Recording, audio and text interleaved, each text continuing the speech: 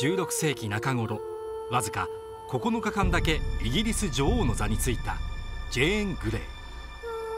そして家庭教師ロジャー・アスカムとの出会い。運命という濁流に飲み込まれ女王へと担ぎ上げられた彼女の最後の決断。それは自ら断頭台へと向かうことだった。白井明演出のもとあの荘厳な舞台が満を持して上演。ナインデイズクイーン9日間の女王。今回この舞台でレディ・ジェーン役をやらせていただきます。堀北真希です。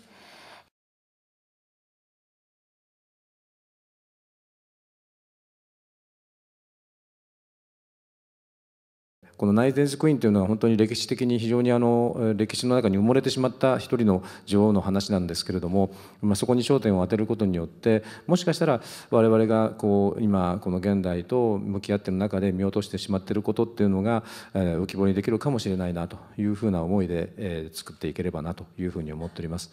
えー、どうぞよろしくお願いします。えー、このジェーンという役はとても難しい役だと思うので。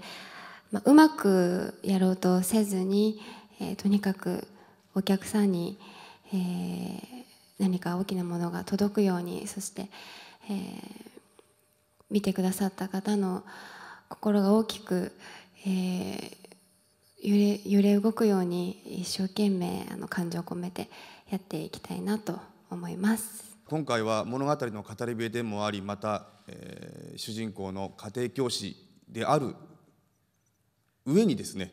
ジェンに対してある思いを秘めながら接していくという役柄ということで年明け最初の舞台と僕もなりますので新たな気持ちで臨みたいと思っています。どうぞよろしくお願いします。